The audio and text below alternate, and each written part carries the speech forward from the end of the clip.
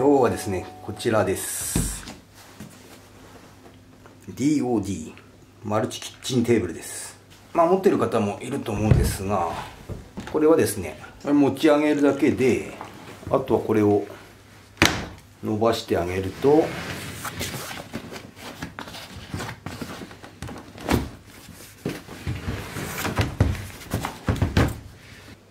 持ち上げるだけでこんな感じに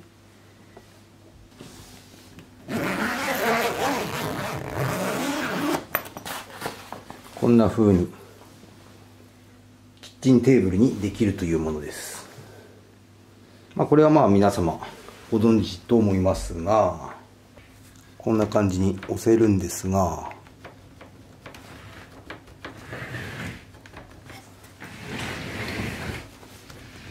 引っ込んだまま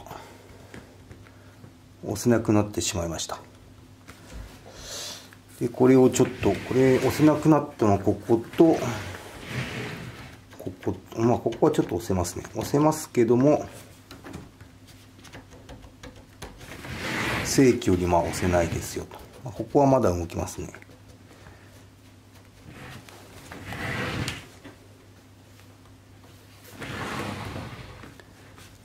こんな感じで押せません。でここが一番ひどいようなのでちょっと修理してみたいと思います。まずはここ。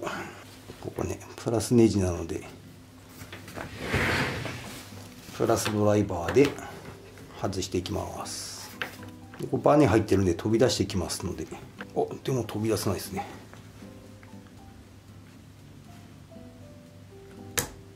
はい出てきました。こうなってます。そしたらこれを抜いてみましょう。てか硬えな。しかも抜けてこない。マイナスドライバーでちょっとこじってみます。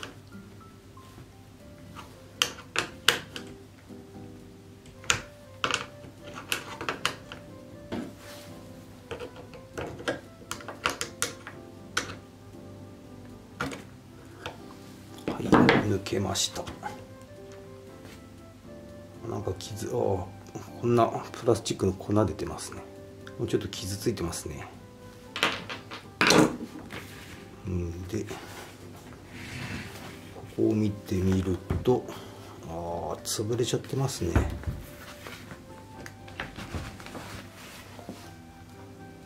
あここいっぱい。プラの粉がああこれ中に粉がいっぱい入ってますね。プラスチック削れちゃったんですねこれね。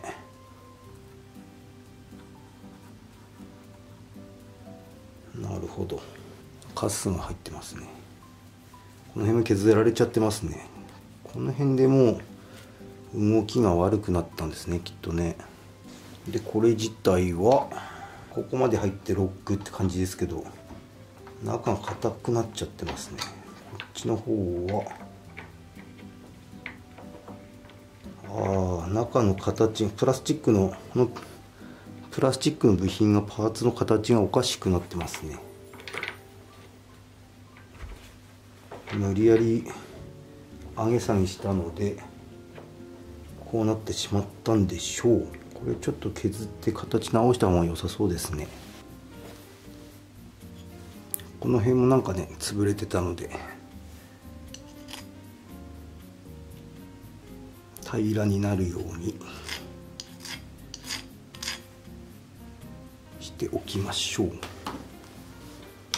でどうかな。ちょっとまだ押す時にちょっと抵抗があるような気がしますね。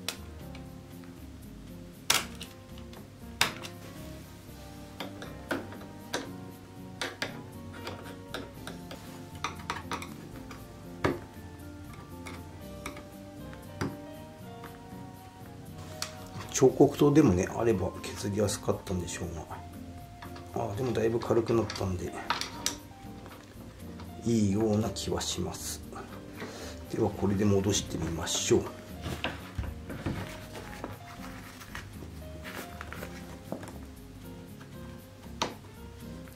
でも硬いですね。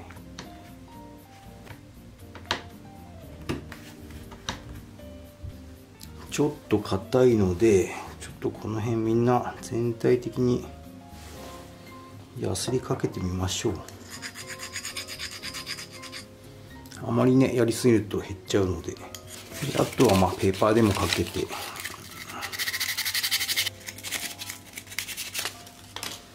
これでいくらかは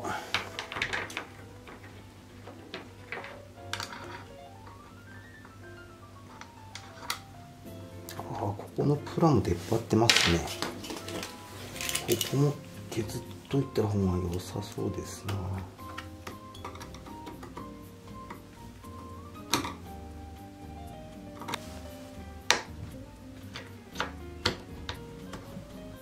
ではこれであとは戻していきましょうか。それで戻す前にはこんなねシリコンスプレーなんかがいいですよ。あの普通のあの鉱物油のやつ使うとプラを炒めたりするのでこんなのを塗るといいと思います。でこちらに。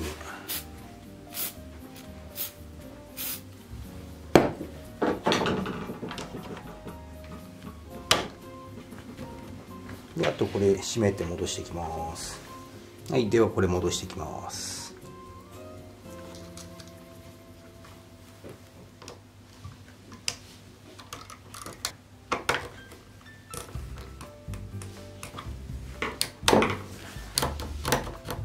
今度は抜きますね。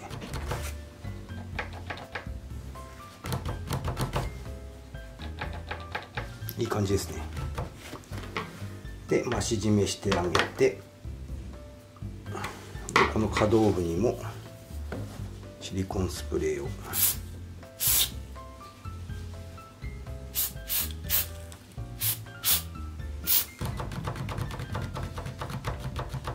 でそれで余計な油は拭き取りましてあいいですね。ちょっと渋めですが動くので良いでしょう、まあ、これ古い今はもう DOD さんのやつモデルチェンジしちゃってこのタイプもうないんですけどもこれでもどれくらい5年5年くらい使ったんですかね。外行くともう本当にスペースをねこことかポケットもいっぱいついてますしとてもおすすめです。でこちらも同じく硬い症状が出てますので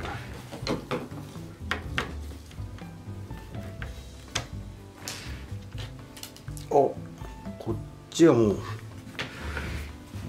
プラスチックの粉が落ちてきました。こんな感じです。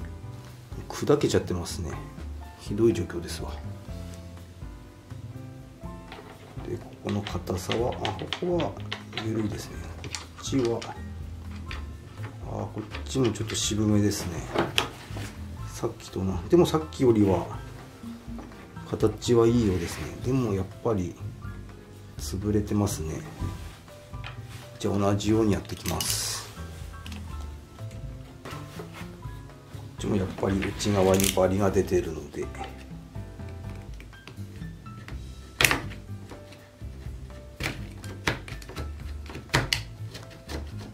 ちょっと切れ味が悪くなったので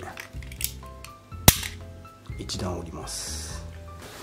でこういう刃なんか折った時はこうテープ巻いて捨ててあげるとゴミ屋さんがあの怪我したりしないので私はいいと思います。こんな感じでするとこう手当たっても痛くないので。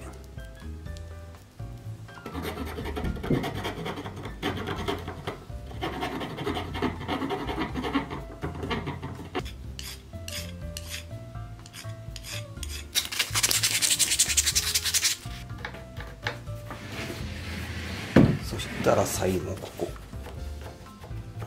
ここはさほど悪くないですね。悪くないですけど一応緩めちゃって。えっと外れませんね。ほんとバネの力で飛んでくるんですが。これも何か起こってますかね。ああこれはすんなりきましたけど。ああまた粉が。また粉が出てきました。プラスチックの破片です。これ全部それじゃいっちゃってるんですねきっとね。ああ最初に出たのが全てみたいですね。あとはあまり出てきません。ああそっか。これですねきっとね。全部コーティングされてたのがここがばらけてここに詰まったって感じかもしれませんねこれね。やっぱりこれは潰れてると。内側もああやっぱり内側もまた同じですね。やっぱりこれ全部ダメみたいですね。みんなやってあげましょう。そしたらまた。これもやっぱり同じような傷がついているので今までより傷は深くはないですが一応まあやすりかけましょう。みんな同じですね。そっか。ダメージ受けてるとこは多分撤収する時に無理やり締めてるのでダメージ受けたんだと思います。まあ今これやっとくとねもう本当の夏場になった時には普通に使えるので。戻してあげましょう。たらまた。結局全部あれでしたね。中のプラスチックがばらけていたようです。多分おそらく新モデルはきっとそのその辺は多分改良されてると思うので、まあ、旧モデルの方はこんな症状が出るのでこんな風にすると簡単に直せますという